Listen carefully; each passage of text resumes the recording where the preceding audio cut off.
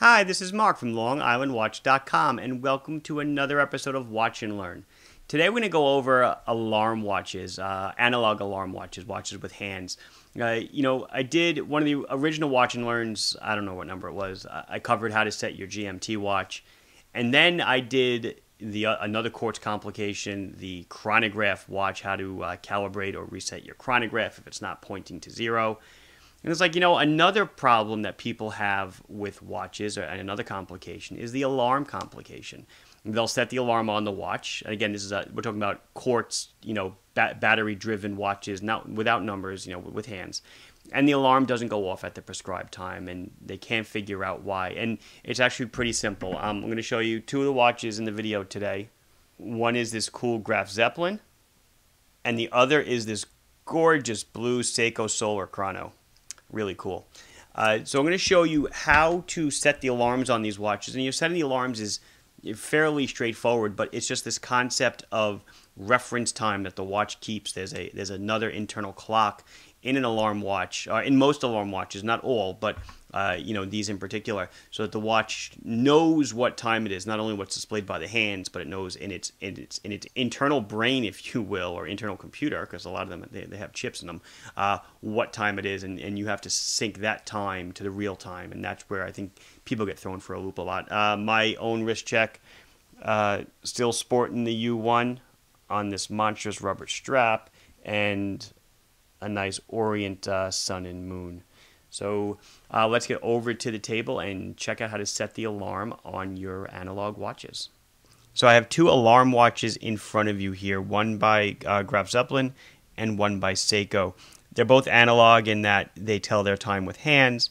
Uh, they obviously both have integrated alarms, but you set them each a little bit differently. And you know this covers most of the alarm watches out there. Obviously, not all but it, this hopefully will give you an idea of you know how to fix your alarm if it's not working or, or how to set it if you don't know how. So the first one I'm going to show you is this Graf Zeppelin quartz based alarm watch. It's got an alarm, it's got a chronograph, it's got a telemeter on the outside. I've shown a watch similar to this in uh, some of the other videos. Uh, I picked this one because it's a little bit different. It's got um, a glow in the dark dial. Um, it's model number 8680-3. Uh, it does look really cool at night, as you can see. The whole dial lights up. It really looks awesome. But what happens with watches like this is that you get it, you know, you unpack it, you're very happy, you know how to use it, you go and you set the time. Whatever the case may be, whatever it is by you. And then you go ahead and you wear the watch for a couple days, and then you say, hey, you know what? It has an alarm. I'm going to use that really nifty alarm feature. And you go to the manual and you set the alarm. You, you saw the alarm subdial moving. You set the alarm and you wait for the designated time. Hopefully, you test it first and you find out the alarm doesn't go off. And then maybe seven or eight hours later, all of a sudden, beep, beep, beep, beep, the alarm is going off, and you're wondering, wow, what is going on? Well, the way these work, and this is a, a Ronda movement, uh, the ETA movements work the same exact way. I think all the alarm movements with you know with hands work in a very similar fashion. There's basically two two watches at play here, two clocks at play. There's normal time, which is displayed with the hands as I'm turning now. Forget the little subdial. Nine o'clock, ten o'clock. That's the time that the watch displays.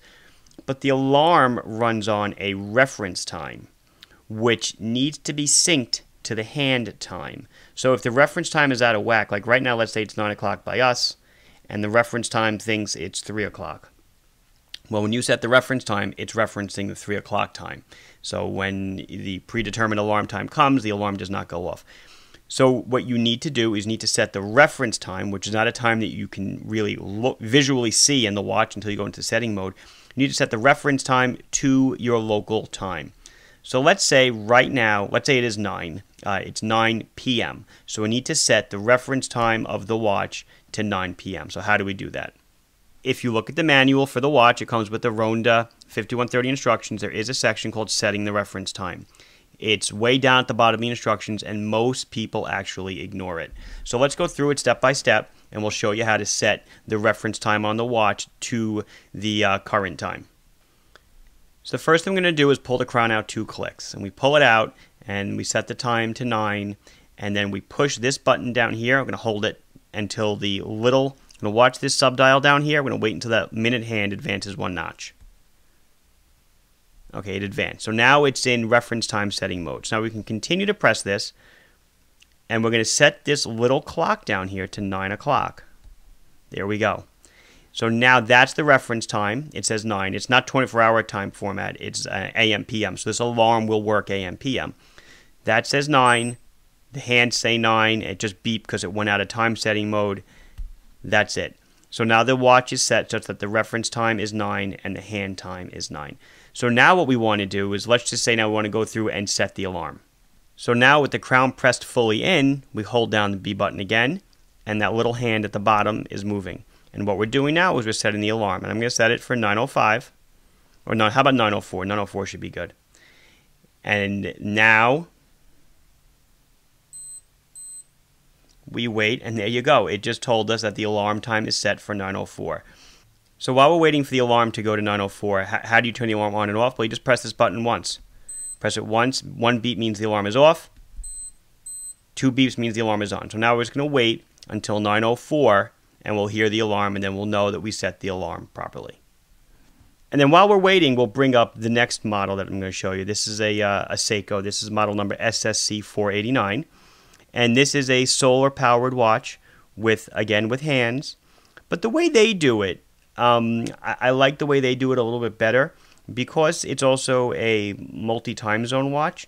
You have to set the hands and the reference time at the same time. So you're kind of forced to uh, you know correct for this reference alarm time as we're calling it.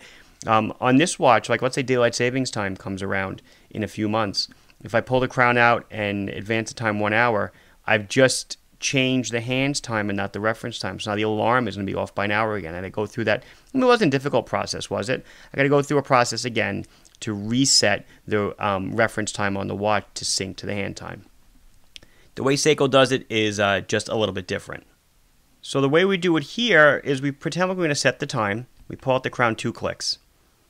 Wait for the watch to do its thing, and we set the time. So let's say, let's, let's just do 9 o'clock again because that's what we did the other one too. And the other alarm should be going off any minute now. So hopefully it doesn't interrupt us, or hopefully it does interrupt us actually. So there, I've now set it for 9 o'clock. Uh, I really am not paying attention to the date, so I don't know if it's AM or PM, but it, it doesn't matter because you'll, you'll see in a second we're going to set it to 24 hour time, not 12 hour time. So once we set the local time at 9 o'clock, we then press this button here, and you see this big red hand is going around? We need to set it to our local time zone Los Angeles, Denver, Chicago. I'm in New York City. Well, I'm not in New York City, but I'm in the New York City time zone, GMT minus 5.